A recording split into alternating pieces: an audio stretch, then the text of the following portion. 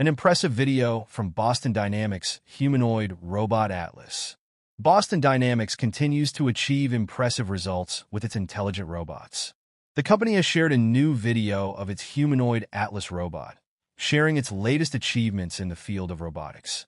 The robot, which has previously attracted attention with its impressive mobility, shows how it performs a task given to it in a factory environment using machine learning and updated sensors in the new video.